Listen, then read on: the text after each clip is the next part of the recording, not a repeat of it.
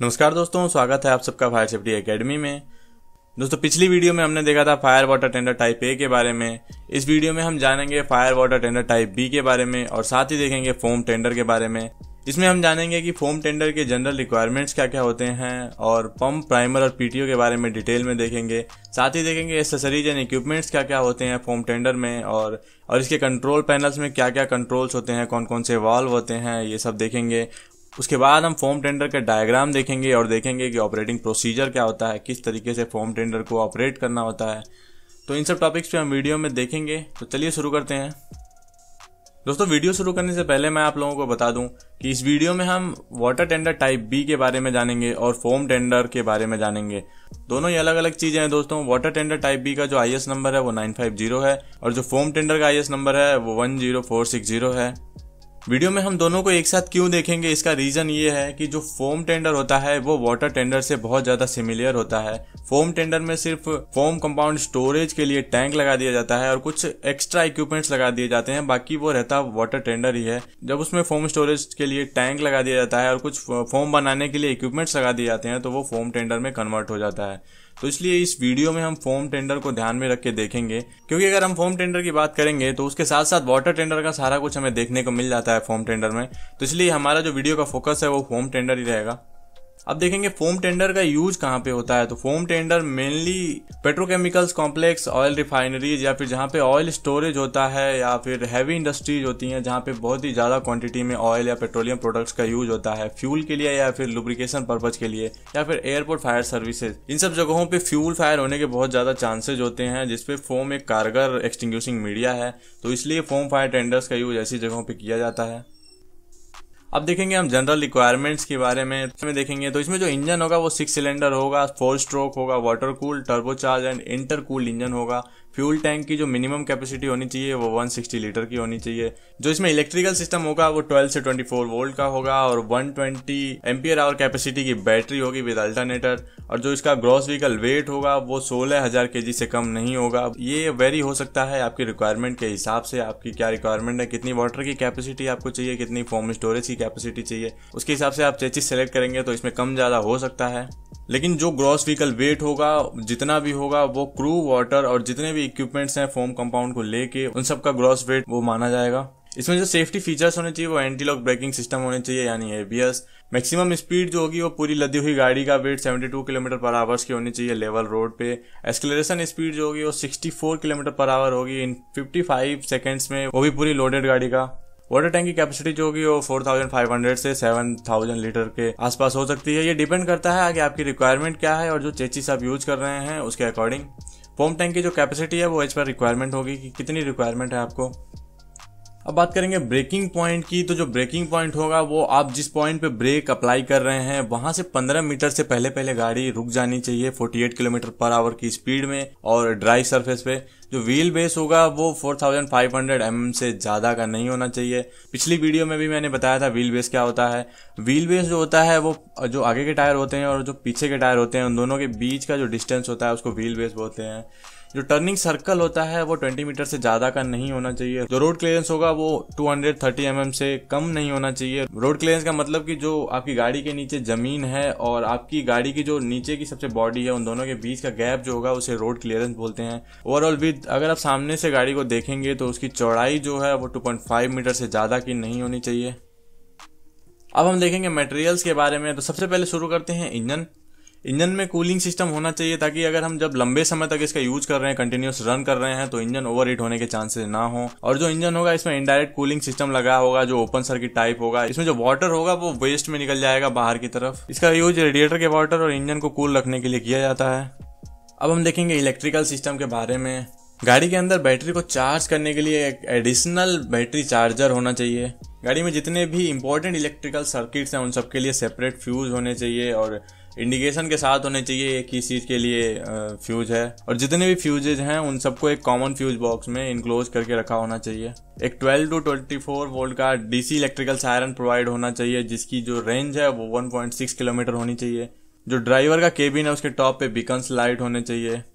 गाड़ी के ऊपर एक एडजस्टेबल सर्च लाइट होनी चाहिए, और जिसकी केबल की लेंथ 30 मीटर से कम नहीं होनी चाहिए। अब देखेंगे वाटर टैंक के बारे में। तो जो वाटर टैंक की बॉडी होगी और जो उसमें बेफल्स यूज़ किए जाएँगे, उनकी minimum thickness five M mm होनी चाहिए और वो माइल्ड स्टील के बने होने चाहिए। टैंक जो है वो माइल्ड स्टील का बना होना चाहिए और एंटी कोरोजन से ट्रीट होना चाहिए। टैंक में सुटेबल बेफल प्रोवाइड होने चाहिए ताकि जब हम कोई कॉर्नरिंग कर रहे हैं या फिर टर्निंग कर रहे हैं तो उस समय जो गाड़ी की सेंटर ऑफ़ ग्रेविटी है वो मेंटेन रहे। वाटर टैंक गाड़ी के चेचिस पे यू क्लैम के साथ फिट होना चाहिए और जिसका डायमीटर 16 एम mm होना चाहिए। टैंक में एक 50 एम mm का बोर ओवरफ्लो पाइप होना चाहिए, एक 63 थ्री mm की इंस्टेनियस हाइड्रेंट से पानी टैंक में लेने के लिए। अगर टैंक कंस्ट्रक्शन में हम एमएस प्लेट्स या फिर गैलोनाइज प्लेट का यूज़ कर रहे हैं तो वो इपॉक्सी ट्रीट होना चाहिए या फिर एंटी करोजन ट्रीट होना चाहिए। हाइड्रेंट टू पंप के लिए जो इंस्टेनियस कपलिंग लगी होगी, उसमें स्ट्रेनर लगे होने चाहिए ताकि किसी भी तरह का कचड़ा या फिर कोई और मटेरियल टैंक में जाने के चांसेस ना हो। टैंक से 100 एम mm की एक बोर पाइप लगी होनी चाहिए जिससे कि पंप का सक्शन इनलेट लगा होगा। और गाड़ी के पीछे वाटर लेवल इंडिकेटर प्रोवाइड होना चाहिए। टैंक के ऊपर 450 फिफ्टी mm डाया का एक मैन होल होना चाहिए ताकि उसमें किसी इंस्पेक्शन पर्पज से या मेंटेनेंस पर्पज से आदमी आसानी से जा सके। जो कैप होगी वो उसकी, वो 300 हंड्रेड mm की होगी गन मेटल की बनी होगी, जिसका थिकनेस 5 mm होना चाहिए और इपॉक्सी कोटिंग होनी चाहिए। टैंक को पंप और होजरिल से इस तरह से कनेक्ट करना चाहिए कि जो अभी हम आगे वॉल्स देखेंगे, ये आसानी से ऑपरेट किए जा सके। जैसे कि हाइड्रेंट से टैंक में पानी लेने के लिए hydrant to tank direct hydrant से कनेक्शन लेके हम होजरिल से फायर फाइटिंग करने के लिए hydrant to hose reel tank to pump to hose reel और hydrant to pump to reels अब देखेंगे हम फोम टैंक के बारे में तो जो फोम टैंक की कैपेसिटी होगी वो 500 लीटर हो सकती है या फिर आपके रिक्वायरमेंट के हिसाब से हो सकती है या जो गाड़ी में चेचिस यूज़ किया जा रहा है उसकी कैपेसिटी के हिसाब से आप जो फोम कंपाउंड का टैंक है वो माउंट करवा सकते हैं। जो टैंक होगा वो रिगिड टाइप होना चाहिए और स्टेनलेस स्टील का बना होना चाहिए और इस, जो इसकी थिकनेस होगी वो मिनिमम टू पॉइंट mm की होनी चाहिए। ऊपर इसके 250 फिफ्टी mm का एक मैनुअल होना चाहिए ताकि क्लीनिंग या फिर मेंटेनेंस पर्पज के लिए उसमें जाया जा सके। एक ड्रेन पाइप होना चाहिए नीचे बॉल वॉल जिसमें लगा होना चाहिए ड्रेन करने के लिए। फोम कंपाउंड टैंक में ऑटोमेटिक वेंटिंग सिस्टम होना चाहिए ताकि जब हम कहीं पे फोम बना रहे हैं या फोम भर रहे हैं टैंक में तो उस कंडीशन में जो टैंक में वेपर्स हैं गैस है, वो आसानी से निकल सके। अगर आपको कहीं से बाहर से फोम लेना है पिकअप ट्यूब के द्वारा तो ऑक्सिलरी फोम पिकअप होना चाहिए गाड़ी में ताकि आप कहीं से बाहर से एक्सटर्नल सोर्स से फोम ले सकें और यूज़ कर सकें। अब देखेंगे हम फोम कंपाउंड प्रोपोर्शनल या इंडक्टर जो पंप इंडक्टर होता है इसका मेन पर्पज होता है फोम कंपाउंड को पंप केसिंग तक पहुंचाना। अब ये आ, किस सिद्धांत पे काम करता है? तो ये वेंचुरी प्रिंसिपल पे काम करता है। अब आगे देखते हैं इसके बारे में। फोम प्रोपोर्शनल या इंडक्टर सिस्टम जो होता है पंप के सक्शन और डिलीवरी के बीच में लगा होता है। इसका काम होता है फोम कंपाउंड को पंप केसिंग तक पहुंचाना बिना किसी डिलीवरी प्रेशर लॉस के या पंप से प्रेशर लॉस के। पंप के पीछे एक मैनुअली ऑपरेटेड सेलेक्टर वाल्व होना चाहिए। इससे आप जो फोम का परसेंटेज है, वो सेट कर सकते हैं। आपको कितने, कैसा फोम चाहिए? तीन परसेंट पे फोम बनाना है या सिक्स परसेंट पे फोम बनाना है, वो आप अपनी रिक्वायरमेंट के हिसाब से सेट कर सकते हैं। तो इसलिए एक सिलेक्टर वाल्व अब पंप के बारे में देखेंगे तो जो नॉर्मल प्रेशर आउटपुट होगा, वो 2000 एलपीएम होगा 7 के पर सेंटीमीटर स्क्वायर पे। हाई प्रेशर आउटपुट जो होगा, वो 300 एलपीएम होगा 35 के पर सेंटीमीटर स्क्वायर पे। जो पंप होगा, वो सेंट्रीफ्यूगल पंप होगा high and low pressure type और ये गाड़ी के पीछे माउंट होगा। जो पंप की कास्टिंग होगी, वो बिना किसी ब्लो होल के या इंटरनल क्रैक्स नहीं होने चाहिए इसमें। और जो इसका इंटरनल कास्टिंग है, वो उसमें स्मूथ फिनिश होनी चाहिए। पंप के अंदर इनबिल्ड प्रेशर रिलीफ वाल्व होना चाहिए, जो ये मेंटेन करेगा कि पंप के अंदर 45 फाइव के जी पर सेंटीमीटर स्क्वायर से ज़्यादा का प्रेशर मेंटेन ना हो। जब हम डिलीवरी आउटलेट बंद कर देते हैं, तब पंप केसिंग में जो मटेरियल यूज़ होगा, वो लीट इन ब्रॉन्ज होगा। हाई प्रेशर इम्पेलर जो होगा, वो फॉस्फोरस ब्रॉन्ज होगा या फिर स्टेनलेस स्टील या फिर एल्यूमिनियम ब्रॉन्ज होगा। इम्पेलर रिंग या फिर इम्पेलर की जो नेक रिंग होती है, वो लीड टीन ब्रोंज की होगी। हाई प्रेशर इम्पेलर जो होगा, वो फॉस्फोरस ब्रोंज या स्टेनलेस स्टील का बना होना चाहिए।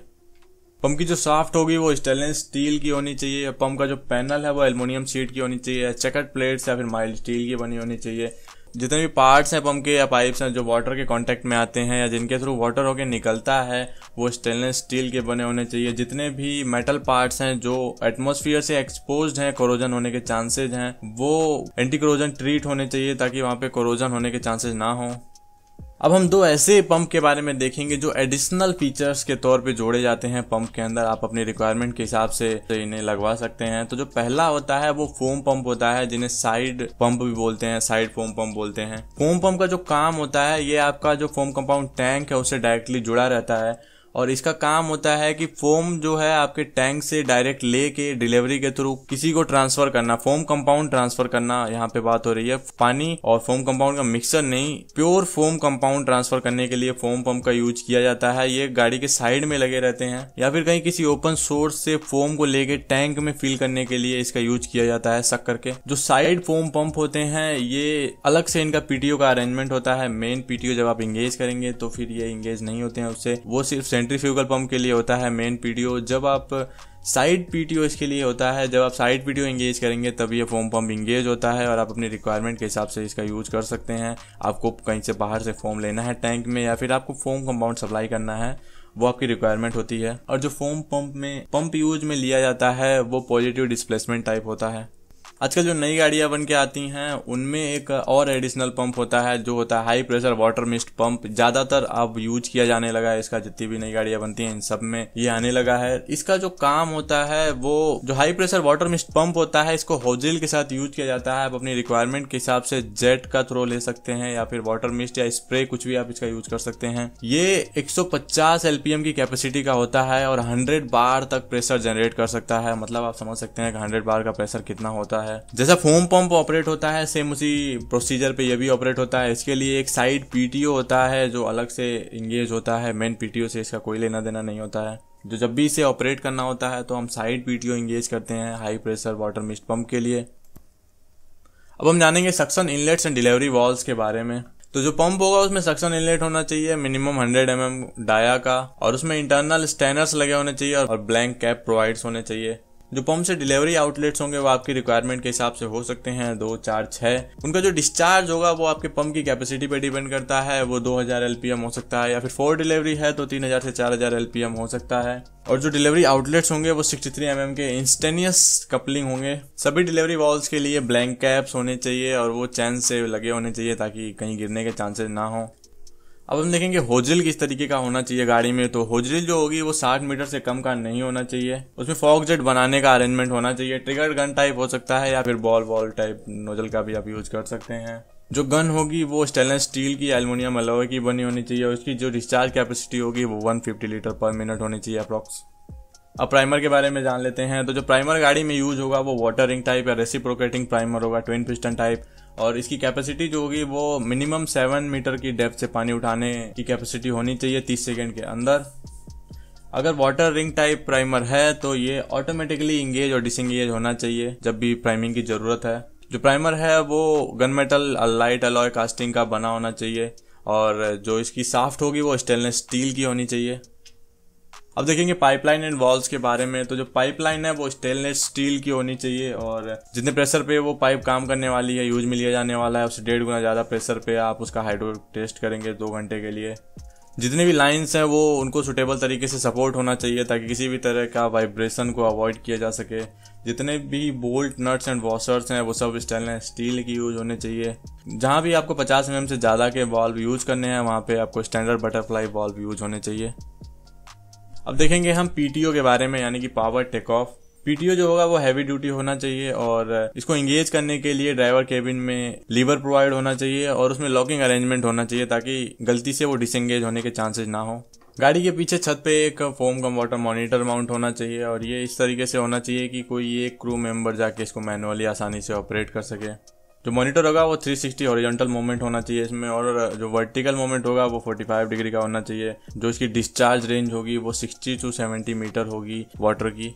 जो फोम कम वाटर मॉनिटर होगा वो एट फोर फोर टू के अकॉर्डिंग होना चाहिए और इसकी कैपेसिटी थ्री थाउज़ेंड एलपीएम के अप्रोक्स होनी चाहिए। अब देखेंगे body work and storage body work के बारे में और जो इसका स्टोरेज कंपार्टमेंट होते हैं उनके बारे में। तो गाड़ी में सिक्स पर्सन के लिए driver cum crew cabin compartment होना चाहिए, जिसमें छह लोग आसानी से बैठ सकते हों। ड्राइवर केबिन में एक रूफ लाइट प्रोवाइड होनी चाहिए। ड्राइवर केबिन में कम से कम फोर डोर्स होने चाहिए। एक ड्राइवर के लिए, एक ऑफिसर्स के लिए और दो बाकी क्रू के लिए। केबिन के जो लॉकर्स हैं, वो रिगिड एंड स्टेबल होने चाहिए और जितने ज़्यादा लाइट मटेरियल से आप बना सकते हैं, वो होने चाहिए। व्हीकल की पूरी छत केबिन फ्लोर जितने भी लॉकर्स हैं, उन सबके फ्लोर को 1.6 point mm thick aluminium chequered plate से कवर होना चाहिए। लॉकर्स में जितने भी इक्विपमेंट रखने हैं, उन सबको सिक्योर करने के लिए प्रॉपर अरेंजमेंट्स होनी चाहिए। जितने भी hose hose fitting branch pipes आप स्टोर करने हैं लॉकर में, उन सब के लिए quick release type coupling provide होनी चाहिए। जो लॉकर की हाइट होगी, वो मिनिमम 600 हंड्रेड mm की होनी चाहिए। और जो लॉकर की गहराई होगी, वो 600 हंड्रेड mm की होनी चाहिए मिनिमम जितने भी लॉकर्स हैं, उन सब में इंटरनल लाइटिंग प्रोवाइड होनी चाहिए और उसका जो मास्टर स्विच है, वो केबिन में होना चाहिए। 2.5 मीटर के सक्शन होज को स्टोर करने के लिए स्टोरेज प्रोवाइड होना चाहिए। ये स्लोप टाइप होना चाहिए ताकि जब हम यूज़ में लेने के बाद सक्शन होज को स्टोर करते हैं तो उसमें जो पानी है, वो आसानी से निकल के बाहर चला जाए। अब कुछ मिसलिनियस अरेंजमेंट्स के बारे में देखेंगे तो एक सुटेबल बम्पर प्रोवाइड होना चाहिए गाड़ी के पीछे।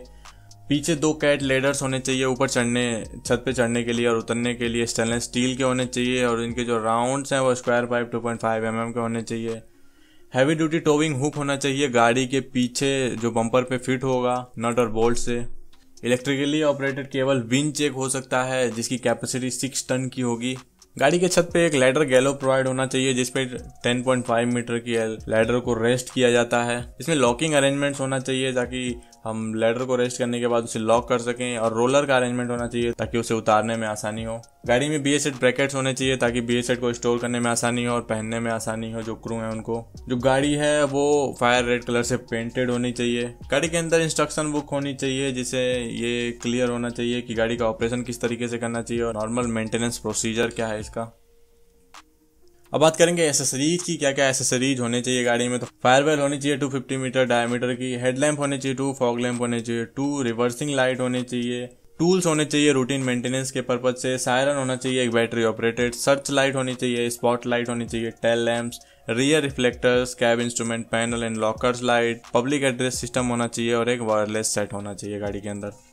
गाड़ी के ऊपर मार्किंग होनी बहुत ज़रूरी होती है ताकि आप पता लगा सकें कि गाड़ी का मैन्युफैक्चरर कौन है, इसका ट्रेड मार्क का क्या है इंजन और चेचिस का नंबर पंप का नंबर क्या है, इसकी कैपेसिटी क्या है, जो वाटर टैंक और फोम टैंक की कैपेसिटी है, वो क्या है और जो ऑल इंस्ट्रूमेंट के कंट्रोल हैं, वो सब आइडेंटिफाई होने चाहिए उनके नेम प्लेट से। तो जितने भी कंट्रोल्स हैं, उन सबके सामने नेम प्लेट लगी होनी चाहिए। तो इसलिए मार्किंग बहुत ज़रूरी है गाड़ी में।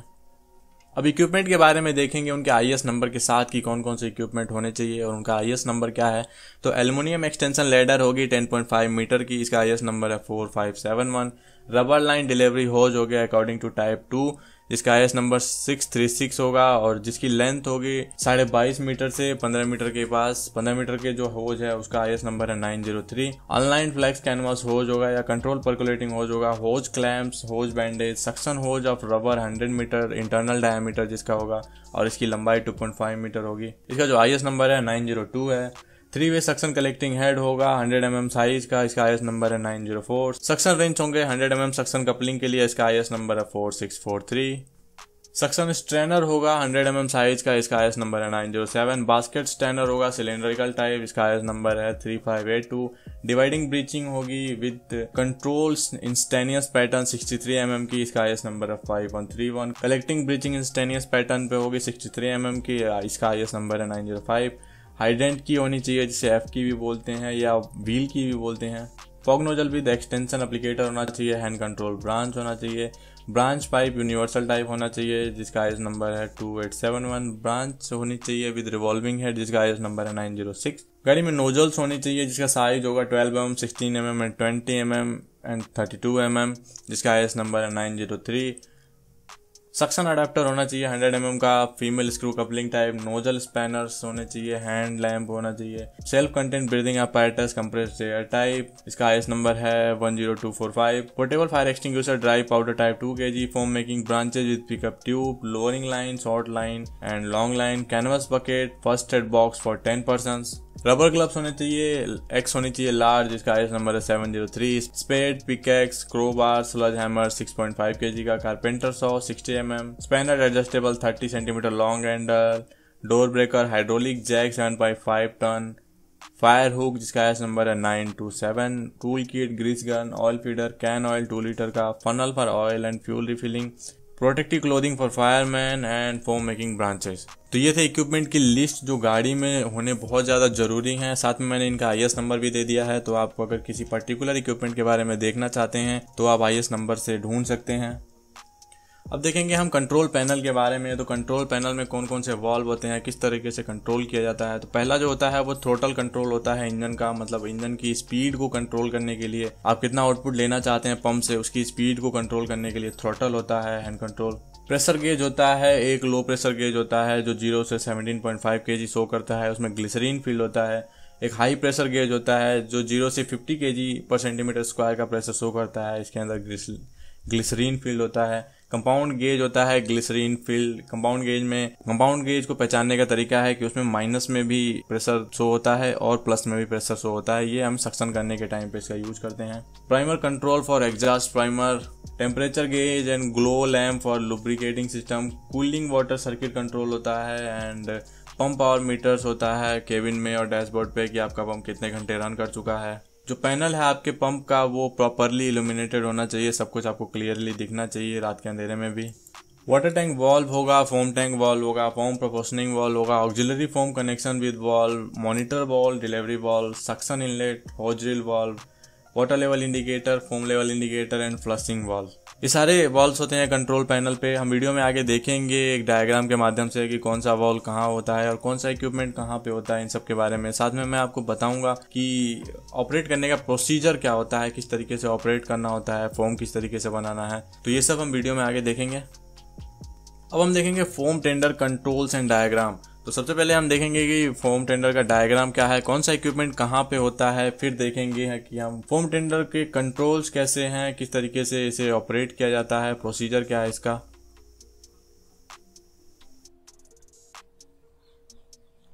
दोस्तों, अब तक हमने वीडियो में देखा कि कंट्रोल पैनल पे क्या क्या इंस्ट्रूमेंट होते हैं कौन कौन से वाल्व होते हैं तो वो मैं अब आपको डायग्राम के माध्यम से दिखाऊँगा, आगे पिक्चर्स भी दिखाऊँगा कि कौन सा वाल्व कहाँ होता है। और फिर बाद में मैं आपको बताऊँगा कि वो गाड़ी को ऑपरेट करने का तरीका क्या होता है। तो अभी फ़िलहाल देखते हैं हम डायग्राम के माध्यम से।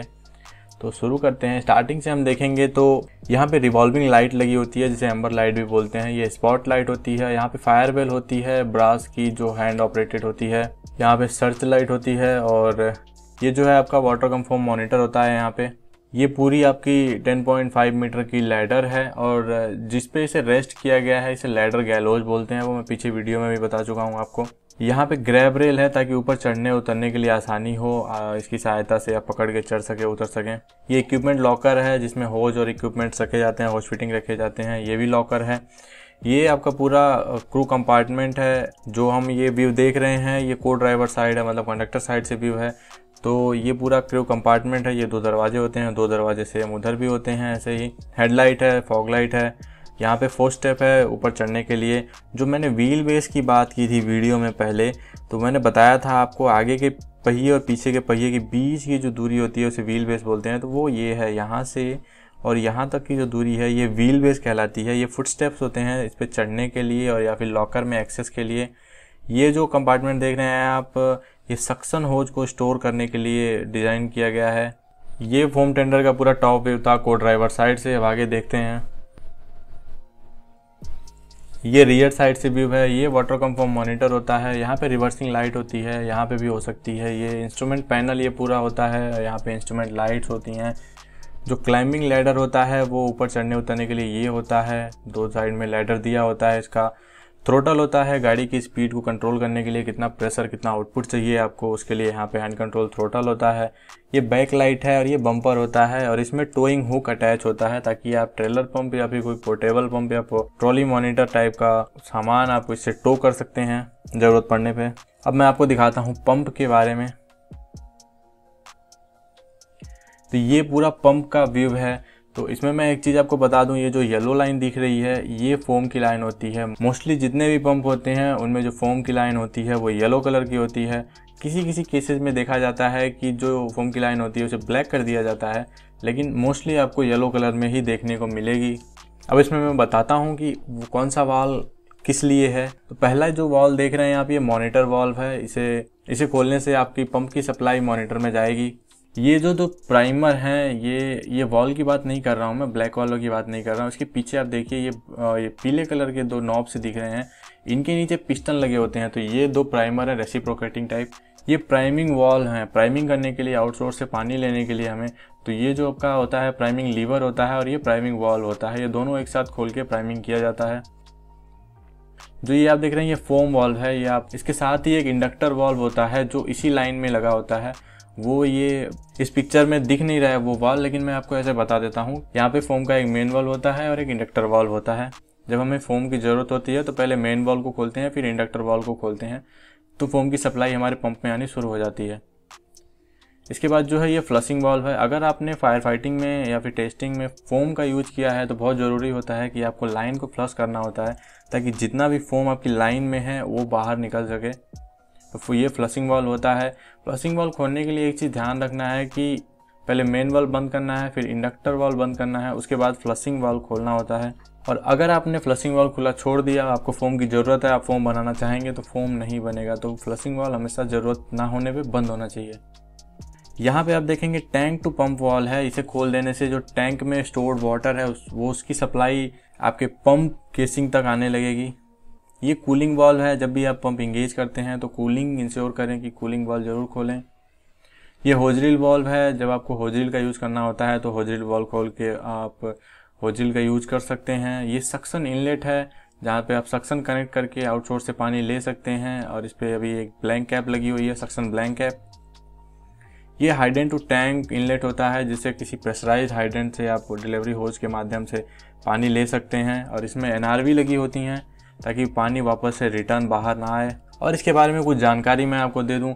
ये जो दो आउटलेट दिख रहे हैं, ये डिलीवरी आउटलेट हैं, ये लग हैं क्विक रिलीज़ टाइप और ये ब्लैंक कैप लगी हुई है। इसमें दो चैन से जो अटैच हैं, ये जो दो वॉल्व हैं, ये डिलीवरी आउटलेट वॉल्व हैं, जिसे खोलने से पानी बाहर आना शुरू हो जाता है। और ये पूरा पंप का केसिंग है, आपका पूरा पंप का अरेंजमेंट है। जो पिछला पिक्चर हमने देखा, वो था फोम टेंडर का। लेकिन अभी जो पिक्चर हम देख रहे हैं, ये सिर्फ़ वाटर टेंडर का पंप है। इसमें कोई फोम की लाइन नहीं है फोम की सप्लाई नहीं है, कुछ भी नहीं है। तो ये फोम टेंडर से भी ज़्यादा सिंपल होता है इसका ऑपरेशन ये जो आप देख रहे हैं, ये पूरा पंप की असेंबली है। ये टैंक टू पंप वॉल है टैंक का पानी पंप में लेने के लिए। सक्शन इनलेट है सक्शन ब्लैंकेप लगे हुए हैं इस पर और ये हाइड्रेंट टू टैंक इनलेट है, जिसे किसी प्रेशराइज हाइड्रेंट से डिलीवरी होज लगा के टैंक में पानी ले सकते हैं। ये दो डिलीवरी आउटलेट्स हैं ब्लैंकेप हैं, लग लगे हुए हैं, क्विक रिलीज़ टाइप और ये दो कंट्रोल वॉल्व दिए हुए हैं। इसमें यहाँ पे भी देखिए, जो मॉनिटर है, पंप टू मॉनिटर, वो यहाँ पे सेम लोकेशन पे है। ये एक वॉल्व इसमें एक्स्ट्रा दिख रहा है, शायद उसमें हमें नहीं दिख रहा था। वो ये है कि आपको अगर डायरेक्ट हाइड्रेंट से पानी होजरिल में लेना है पंप ना चला के डायरेक्ट आप होजरिल से फायर फाइटिंग करना चाहते हैं, आपके पास प्रेशराइज सोर्स है हाइड्रेंट का तो आप इससे कनेक्ट करके डायरेक्ट होजरिल से फायर फाइटिंग कर सकते हैं। आपको पंप इंगेज करने की ज़रूरत नहीं पड़ती है। उसके बाद ये आपका कूलिंग वॉल्व है यहाँ पे यहाँ पे होजरिल वॉल्व है और ये जो वॉल्व दिख रहा है आपको यहाँ पे रेड कलर का, ये प्राइमिंग के लिए दिया हुआ है। कूलिंग वॉल्व तो मैंने बता दिया आपको। हाँ ये रह गया कि आपका जो ये पूरा इंस्ट्रूमेंट पैनल है, यहाँ पे दो लाइटिंग लगी हुई हैं प्रॉपर अगर रात में आपको ऑपरेट करना है तो आसानी हो। ये गेज लगे हुए हैं, इसमें दो तो प्रेशर गेज हैं और एक कंपाउंड गेज है। प्रेशर गेज आपका जो डिलीवरी आउटपुट है, उसका प्रेशर शो करता है और जो कंपाउंड गेज होता है, वो जब आप किसी आउटसोर्स से पानी लेते हैं तो फिर वो आपकी प्राइमिंग करते टाइम माइनस में प्रेशर शो करता है और जब प्राइमिंग हो जाती है तो फिर वो प्लस में दिखाना शुरू कर देता है। अगर आप आउटसोर्स से पानी नहीं लेते हैं तो फिर ये गेज काम नहीं करता है, ये न्यूट्रल रहता है। ये देख सकते हैं यहाँ आप होजरिल इसमें अटैच है और यहाँ पे गन है होजरिल की, जब ज़रूरत पड़ने पे आप इसको खींच के आप यूज़ कर सकते हैं। तो इतना ऑपरेशन था, इसका आगे मैं वीडियो में बताऊँगा आपको कि किस तरीके से गाड़ी का ऑपरेशन करना होता है फॉर्म बनाना है तो क्या करना होगा और भी ऑपरेशन के बारे में बताऊँगा। अगर आपको पंप के ऑपरेशन से रिलेटेड कोई भी डाउट है तो आप कमेंट सेक्शन में मुझसे पूछ सकते हैं। अब देखेंगे हम ऑपरेशन के बारे में कि गाड़ी का ऑपरेशन किस तरीके से किया जाना चाहिए। तो सबसे पहले गाड़ी का प्लेसमेंट होता है। गाड़ी को आपको किस तरीके से प्लेस करना है सिनेरियो पे ले जाके। आपको जो अपनी गाड़ी का प्लेसमेंट करना है, वो विंड डायरेक्शन के अकॉर्डिंग करना है और रिवर्स करके करना है ताकि किसी इमरजेंसी की सिचुएशन में आप गाड़ी को आसानी से वहाँ से निकाल सकें। जो पंप होगा, वो फायर का सीन है, जो इमरजेंसी है, उधर फेसिंग होना चाहिए। उसके बाद आपको आपको गाड़ी का पीटीओ इंगेज करना है।